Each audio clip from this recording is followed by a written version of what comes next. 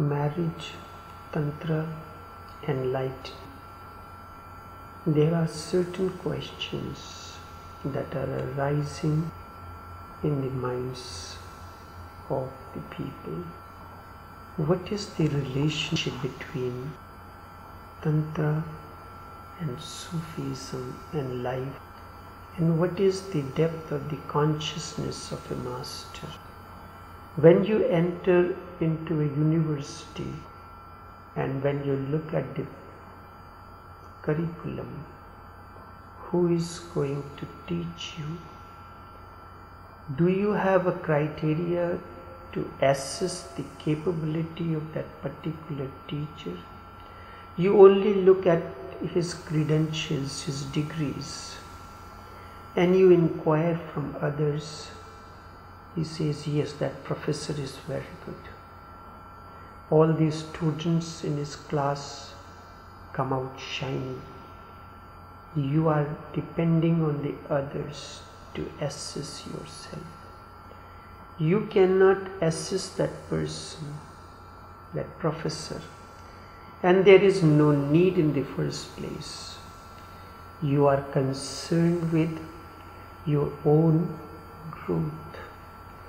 And once you are on the path of your own growth, then you can use every single opportunity, circumstance, and situation as the way for your development.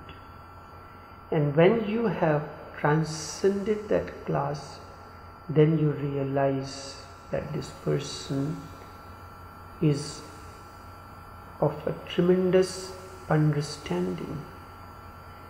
It is not important to know what is the depth of a sheikh, depth of the consciousness of a sheikh, holy prophet, or anyone.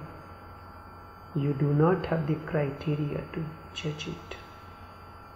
And Jesus says, Judge ye not that ye not be judged. You are asking about the question of the depth of Holy Prophet. First and the foremost thing is this to seek your own level of consciousness. There is a direct relationship between Tantra and enlightenment. Is enlightenment so easy? Yes, it is very easy. It is spontaneous, yet it is very difficult. When I create any piece of art, hmm, artifact, or piece of decoration, I use it as a symbol, and that must carry a meaning. I have posted a picture of the piece of decoration that I have kept in my living room as a symbol for making me aware moment to moment. It carries a sculpture of Buddha with his sitting in the meditation posture, cross legged, one hand, left hand resting on his lap, and the right hand is raised in the gesture of blessing you.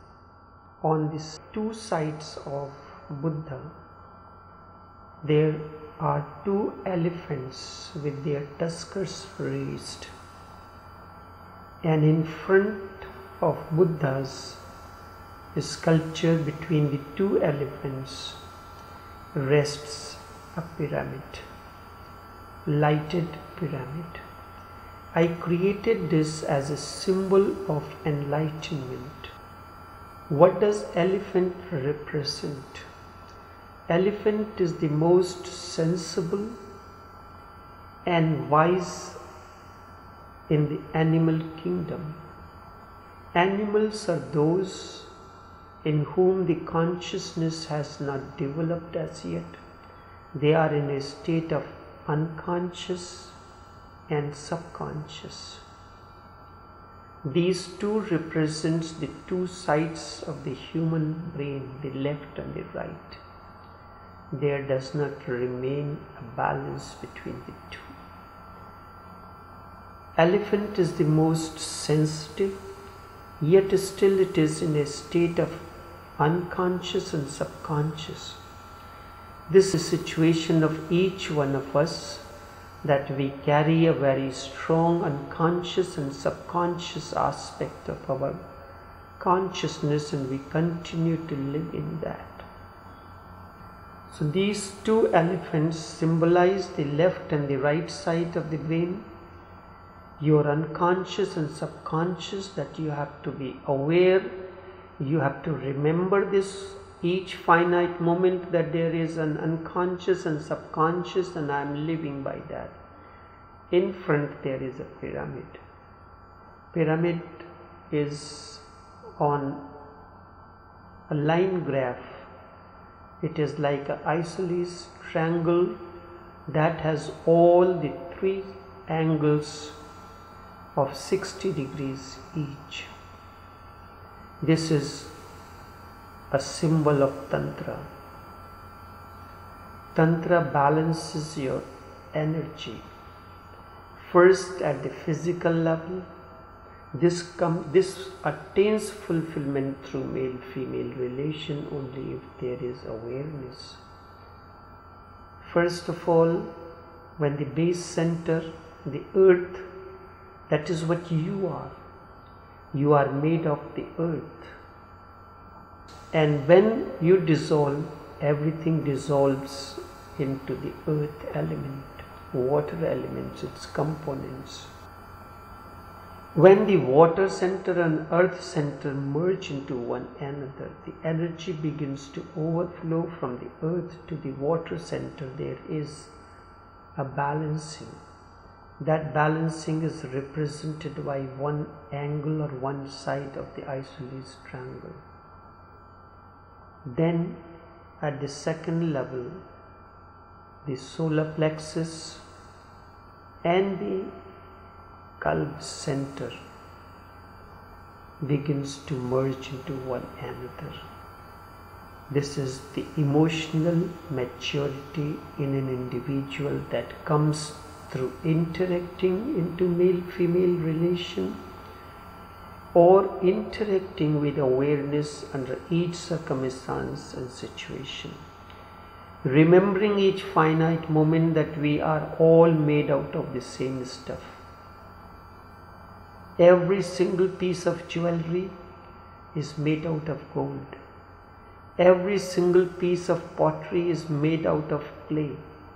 So too, each individual is made out of clay, the earth element, the water and clay cannot come into form without water.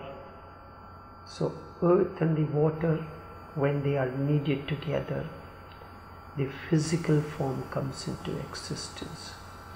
But the physical form is simply that which we can see, but that which is within us we cannot see the esoteric and exoteric aspects of our life.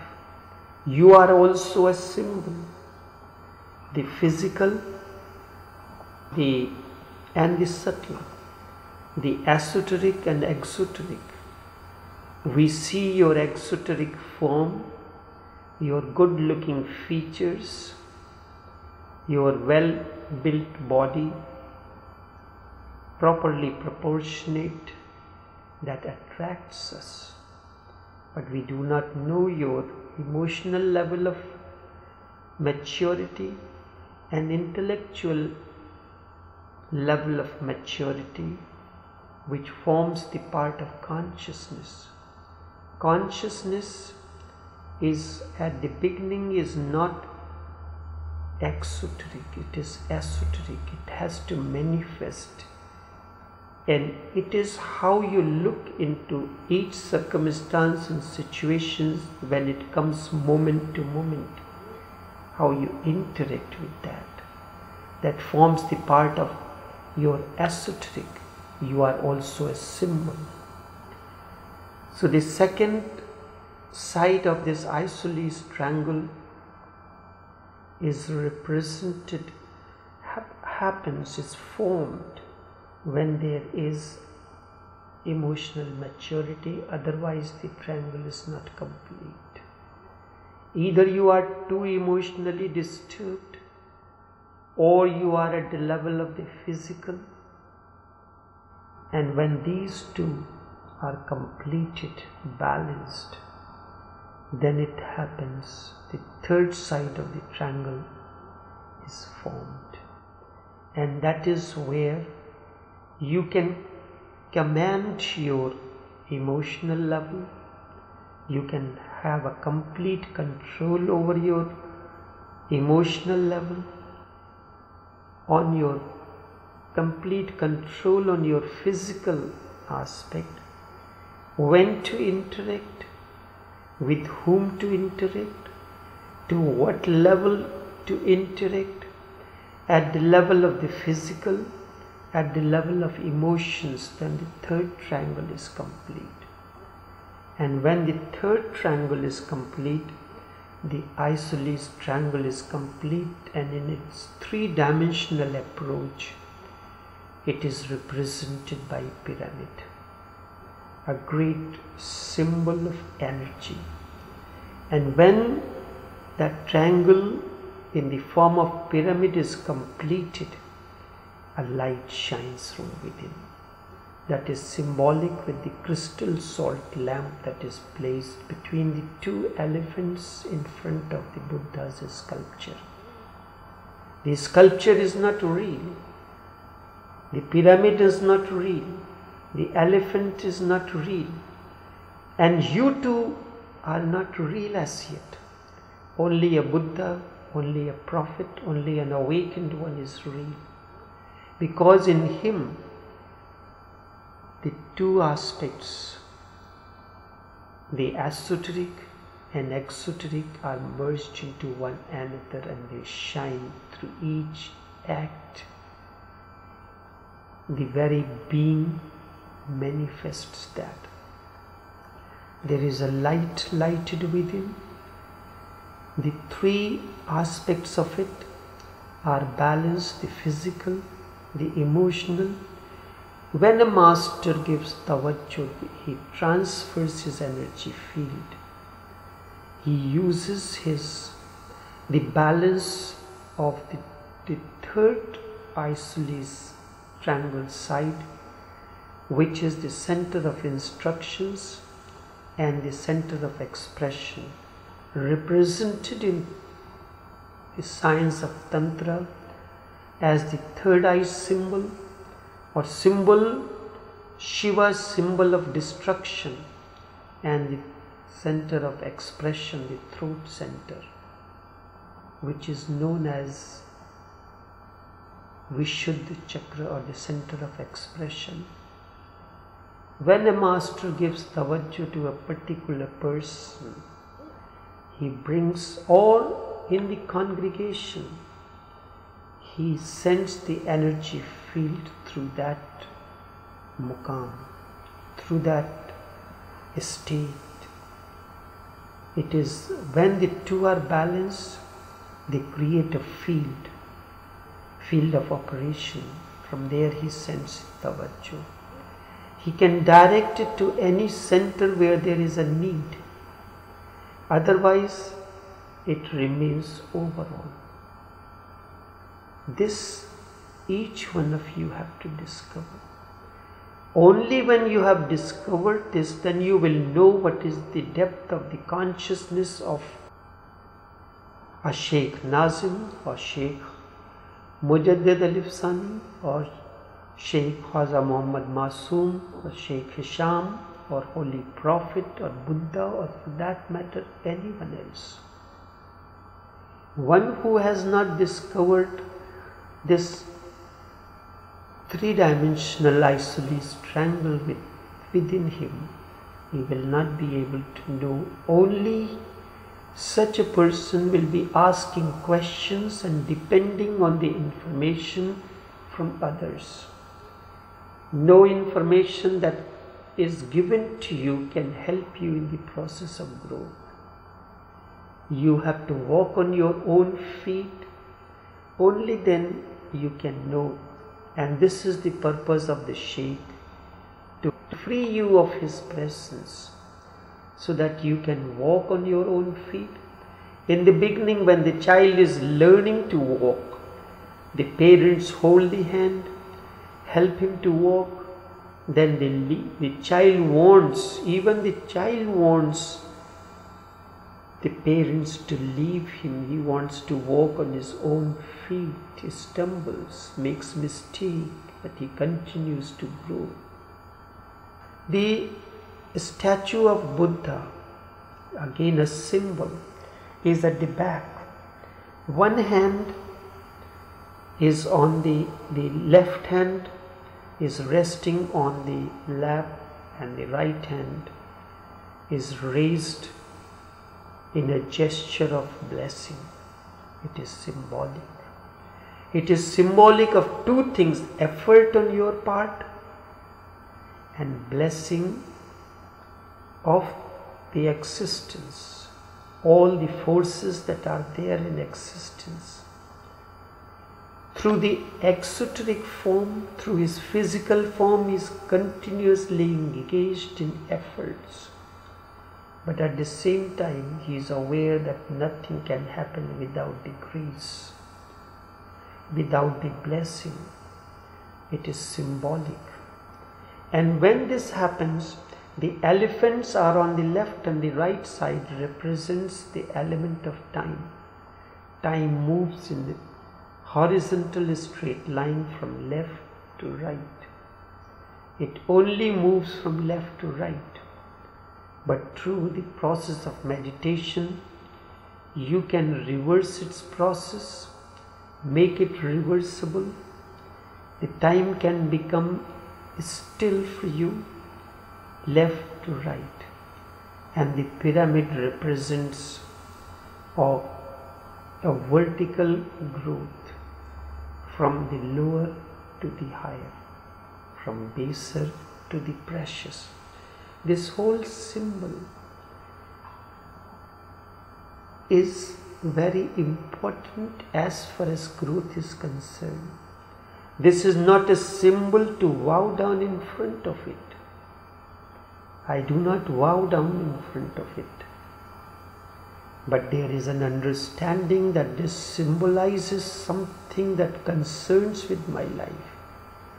The stillness of Buddha, the stillness of the elephants, they are not disturbed. They are not making any noise because they are inert. They do not have the life force in it so too you have two things you can scream you can cry and you can be silent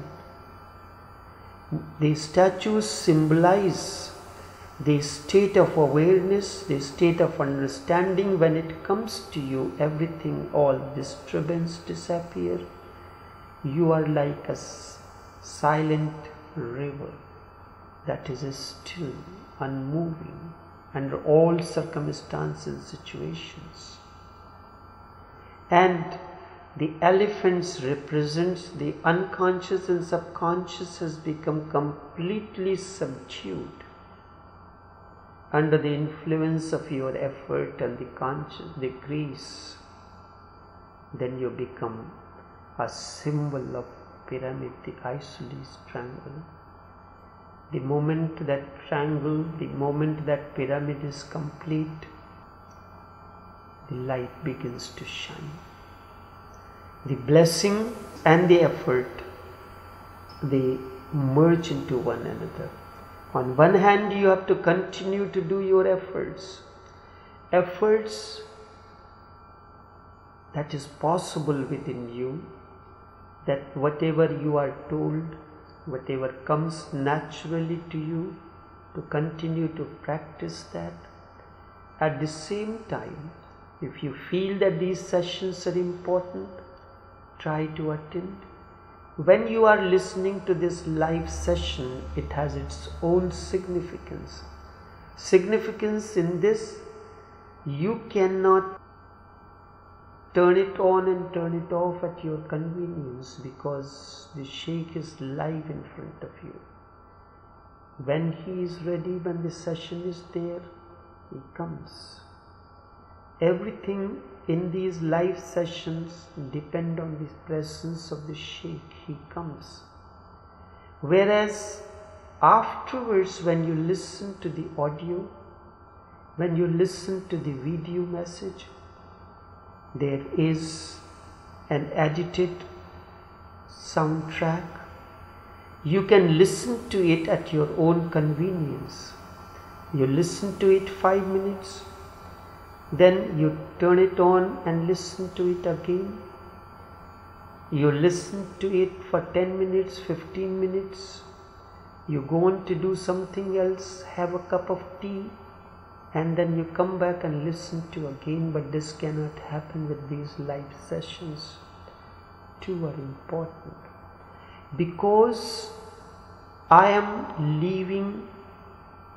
There are many who do not have the opportunity to come to attend to these sessions. Their time has not come. But everything is in the process of transformation. Today, this particular bud has come, it has blossomed into the flower. Tomorrow, this flower will be picked up because it has attained fruition. New buds will appear and this process of the garden will continue the blossoming, the withering, and then again blossoming and withering will continue. So, for those who will come after you, they get equal opportunity to listen to it. Just as when you are listening to this live session, you do not have to make much effort except that sit down in a state of devotion with your micro with your hearing aids open. You listen to this broadcast. You take a dive into this ocean of light that is manifesting. But afterwards when you are listening to this recorded session your own effort is necessary. Thus, both are necessary. The one is the grace, the live sessions are the grace. And when you listen to these recorded, it is your effort. How much you effort you put into listening to those sessions again, if you can listen to these in the same way as you did it in the first place when it was live broadcast, the effect will be different. Then life becomes a celebration. It is the totality. When you celebrate life, you celebrate every moment, joy or bliss spirits. Then everything, love, relation, marriage, all radiate a new aura of blessedness. Not only you have felt blessed, instead all those who come in contact with you, first at home, your spouse, your children, your friends, everything animate, inanimate begins to bask in that glory of that blessedness that you have experienced within. Just as in the symbol of the lighted crystal lamp, the light within is shining, and in that all the sides of the isosceles triangle radiating a very soothing color. And there is another quality of this it ionizes the atmosphere. When you are balanced, all the sides of you are balanced through the process of your effort and grace. It ionizes the atmosphere, it purifies the atmosphere. Everything begins to shine And then whosoever comes in your contact feel blessed. Such blessedness is the essential criteria for the transformation and transcendence. True celebration should emerge from your own life, in your life. It cannot be according to the calendar that on the 1st of November, on a particular date, you will celebrate. Also, it will not begin with any, even in a particular or specific event or time. You celebrate everything. Celebration is your very nature. Then cutting wood, cleaning the car, making love, cooking, eating, etc. Everything is celebrated. Strange the whole year you are involved in many things, you are miserable, and on the 1st of November, suddenly you decide to celebrate. You come out of your misery dancing. It is not so then. Each moment is the moment of blessing, celebration, and thankfulness. This is symbolized by this piece of decoration that adorns my living room. Certain things was incomplete, so they have been placed now. It reminds me moment to moment the balancing of the physical, the emotional and intellectual aspect so that I can become a living pyramid. A living pyramid where all the three energies are merged into one another and the light begins to shine. When Hazrat Mazhar Mir Jana Jana Raziallah Ta'ala tried to bring out the esoteric meaning of the Hindu idols and why do they worship the idols. Yes, when somebody does not understand this, anybody else who sees this as a symbol in my house may light a lamp in front of it, may bring flowers, may do other things that are that is not to be discarded not to be discouraged. Everyone grows in his own way. But if you understand the esoteric meaning of this, then it constantly reminds you. A flower, when you look at the garden, is constantly reminds you that it has a blossom. Long ago, I happened to visit, pass through a cremation ground on the grave there was an epitaph and something was written and the lines were very meaningful. Look at me, O passers by. Look at me, O passers by, as you are now, I was ever. As you are now, I was ever. As I am now, you will be as I am now, you will be. So think it through. Very meaningful lines. Just as you are alive today, that person who was lying in the grave was alive. Today he is not, he is resting. One day you will attain to the same state, so think it through. It is not to be worshipped Idols are not to be worshipped. The esoteric, there is an esoteric aspect and exoteric aspect. A sheikh is a symbol of an idol. You sit down in front of him, you pay your respect and regards. What you are paying the respect and regard to his exoteric form or the esoteric?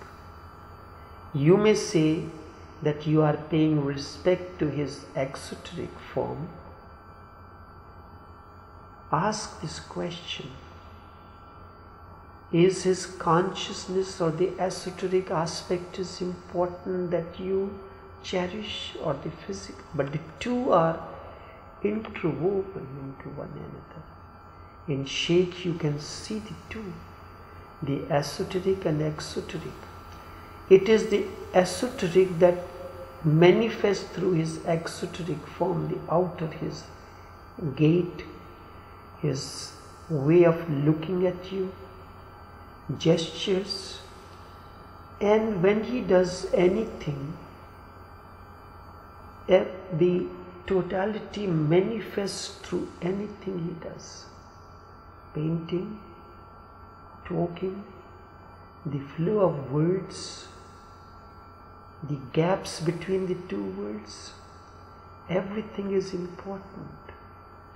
It is the combination of esoteric and exoteric that forms, that is the meaning of an idol.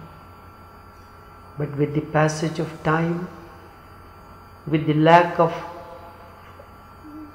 with the decline in the level of understanding and consciousness, the esoteric aspect became diluted, but the exoteric remained meaningful. Through the exoteric, you go into rituals. Each one of us, in one way or the other, is connected, is interested in the ritualistic aspect. When you pray in front of in in the mosque why do you have to bow down in a particular direction? Why do you have to turn your face into a particular direction in the northern side or turning your face towards Kaaba is Kaaba not all around is God's presence is restricted to a particular place, time and or space. But rituals are set by certain people. They are in a way you will turn your face towards a particular direction to pay the respect, to pay your to do your prayers left, right, north, east, west, or the combination of these. Hindus says there are 10 directions. North, south, east, west, north, south, east, west, south, west, and then various degrees of these directions. To encompass that says that there are 10 directions. It is again symbolic because there is no number beyond 10. Beyond 10, everything is a combination of 10 plus 1, 10 plus 2, 10 plus 3, 10 plus 4, and so on and so forth. But 10 is the ultimate number. A combination of 1 and 0. 1 that which is 1, unparalleled. 0 is the symbol 0, what does 0 represent? 0 represents the state of awareness when it is contentless, it is empty. This is why there is a story of 10 bulls in Zen meditation. From 1, you have to reach to that state when 10 has come. Symbolically, the Sikh religion have 10 gurus starting from 1 to 10 the ultimate has come. 10. 1. The unparalleled. That which is, there is, no, no, there is no duality, there is only oneness. And that oneness permeates through the entire cosmos. If you understand this oneness that exists in the cosmos, you can enjoy the fruits of the existence. If all the three aspects in you the physical, the emotional, and the intellectual or the spiritual merge into one another. What are you now? You have become one. And then you can enjoy the fruits at the physical level, emotional level, and the spiritual level. This is the meaning of oneness. This is the meaning that God is one. Godliness is one. The blessing, blessedness is one. Light is one, but it has myriads, infinite manifestations. You have to see that light through the myriad manifestations that you see around you. But before that, you have to become empty, empty of everything, attain to that space that was occupied by your unconscious and subconscious in the form, form of two elephants on the either side of the Buddha. Then you are constantly in effort and at the same time your right hand blesses you and the left hand is in effort of constant preparation.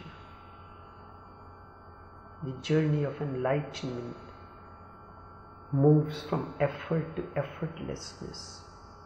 Life moves as a combination between esoteric and exoteric the inner and outer. Then every moment becomes a moment of blessing, celebration, and thankfulness. Your gestures are symbol gestures symbolize thankfulness. Your awareness then symbolizes blessings. The mis and you realize the misery was false. For the first of December that the day when you want to celebrate is false. Both cannot be true. And once the first of December is gone, you are back into your dark hole. I am not speaking of such a life. To me, life should be a continuous celebration, a festival of lights the whole year round. Not that on a particular dark night when Hindus celebrate the light.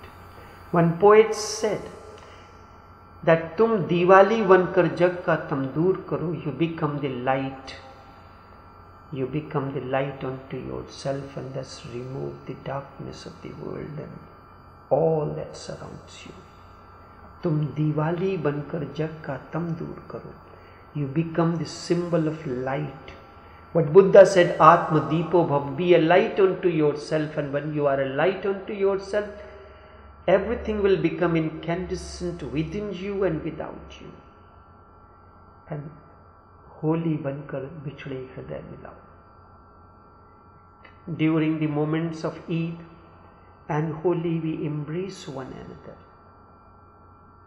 We embrace, we hug one another. Then celebration continues, a festival of light all year around only then you can grow up and blossom. Transform small things into celebration.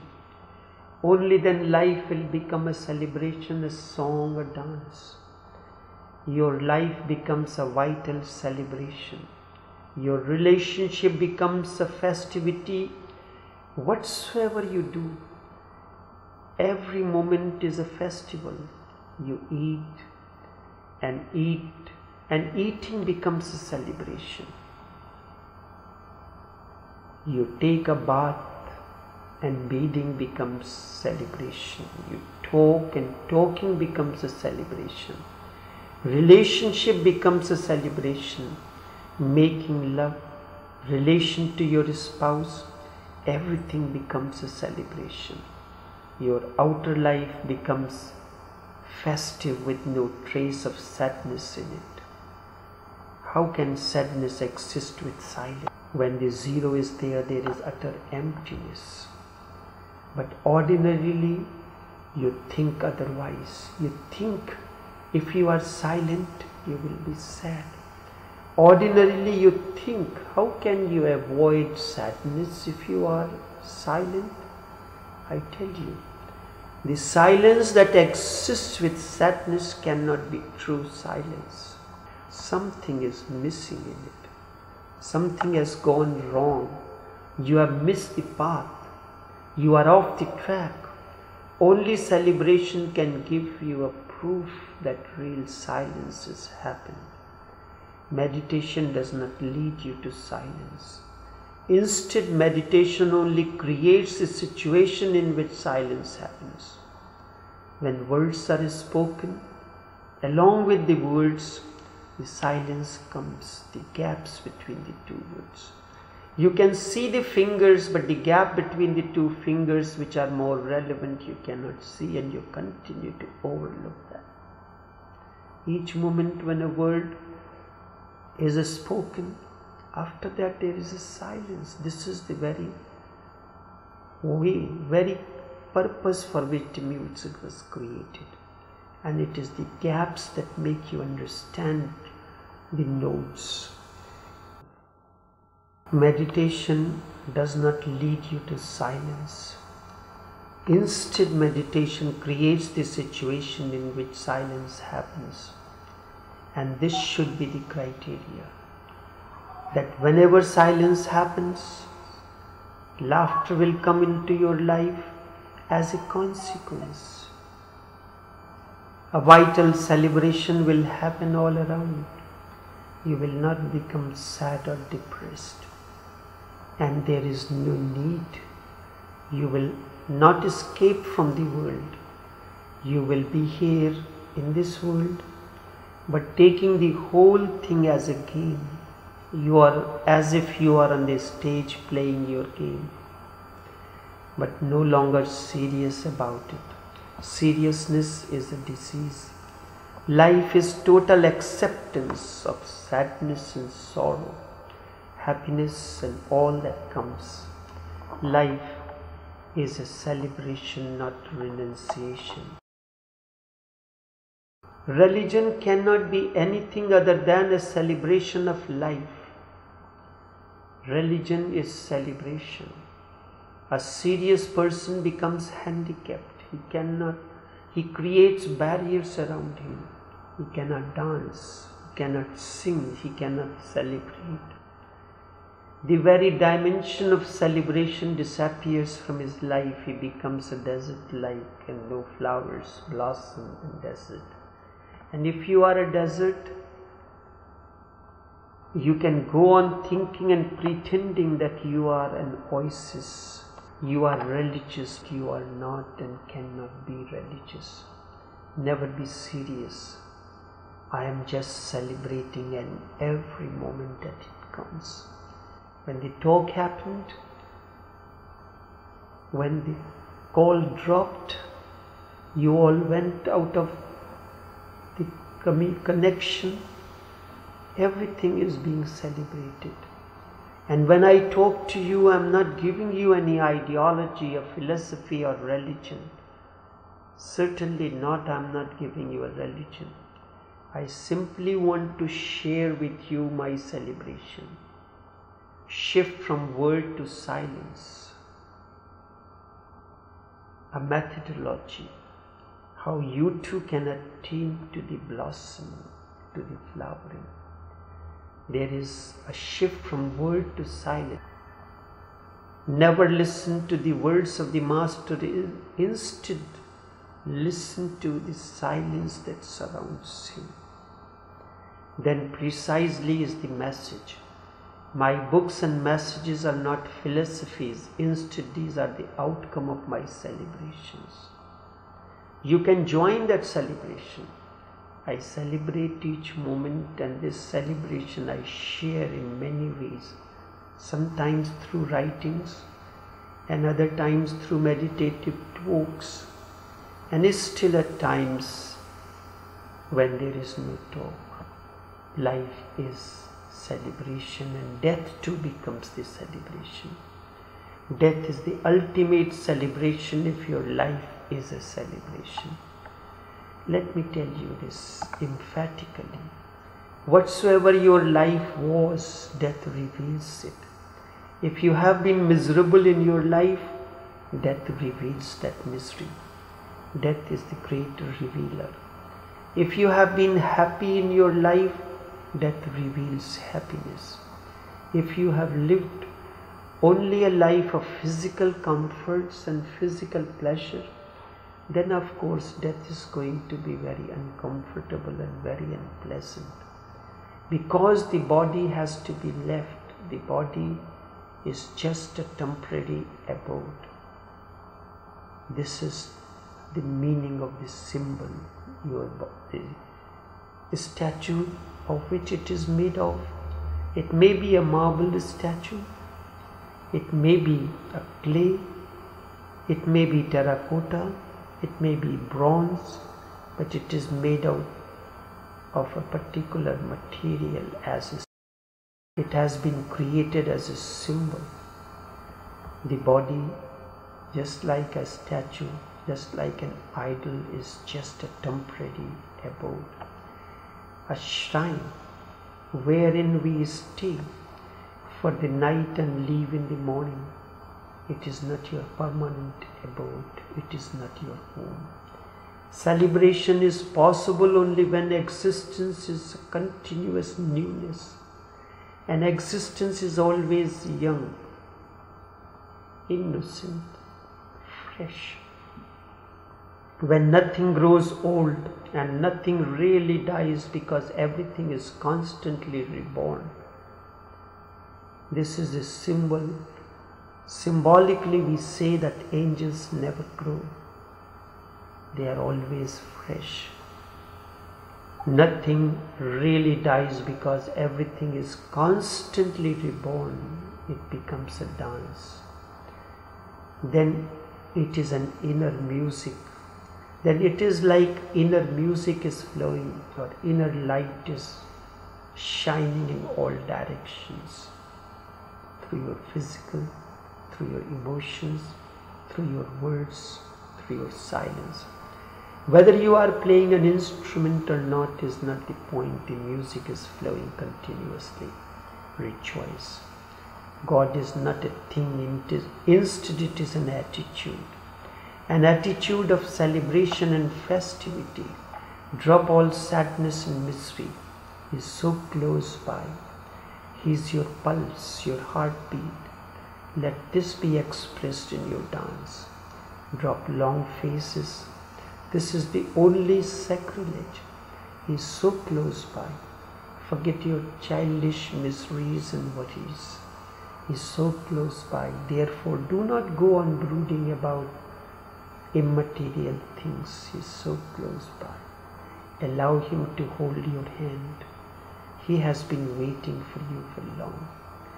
When your awareness is deep rooted and you are present to this very moment, you attain to a new vision of life. That is why mystics talk so much of beauty that you do not find anywhere.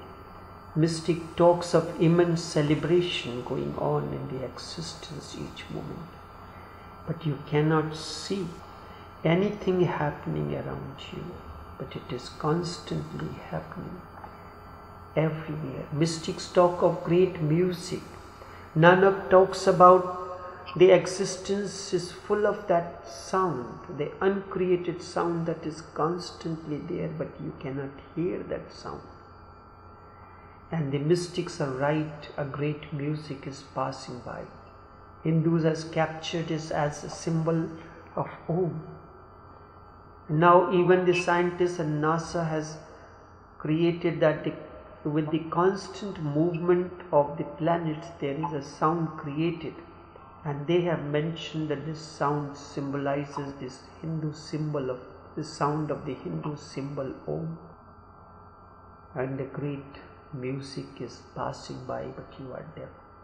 Great beauty is all around but you are blind the whole existence is celebrating this very moment as much as it was celebrating when Atisha was alive, when Buddha was alive, when Jesus was alive, when Pythagoras was alive, when Krishna was alive, when Holy Prophet was alive. Existence is celebration, but your heart is dead. Only your physical heart is beating, while your spiritual heart is completely non functional and without it you will not be able to see the celebration of life. How can you be grateful to God if you do not see the celebration? How can you feel thankful to God if you do not see the gifts that life has given to you?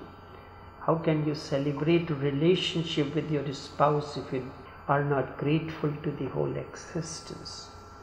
And your spouse is part of that. But you are so much full of complaints, regrets, and grudges. You can only be angry at existence. You will be complaining why you have been, why have you been created? Why is this suffering and misery? You see only suffering because your eyes can only see suffering. Otherwise, existence is blessing, a benediction. This you cannot see. Celebration Life should be a celebration. If nature is allowed to take its own course, it is bound to be a celebration.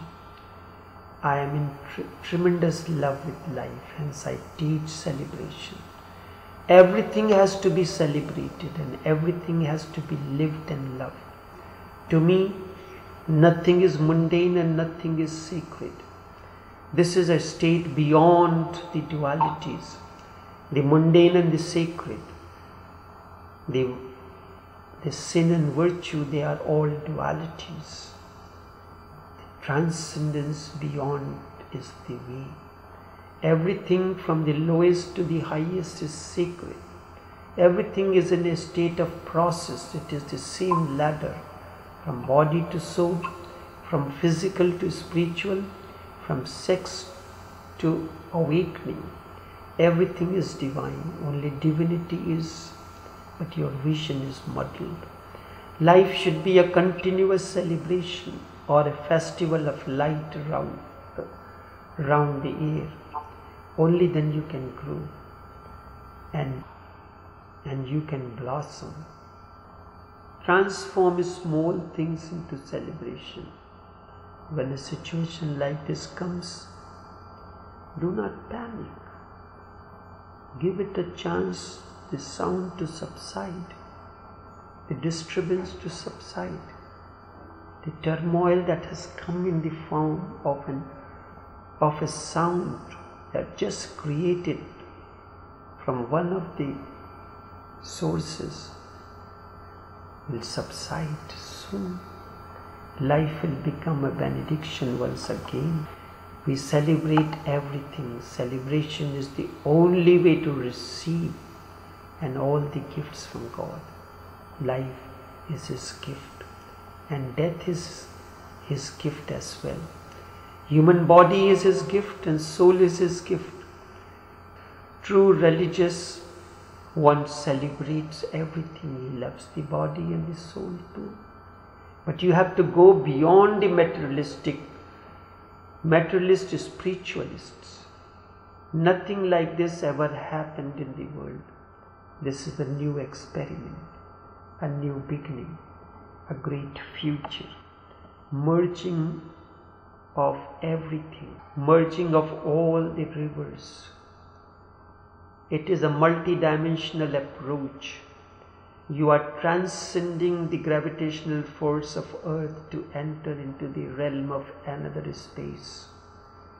You are moving vertically from the earth space from gravitational force that pulls you down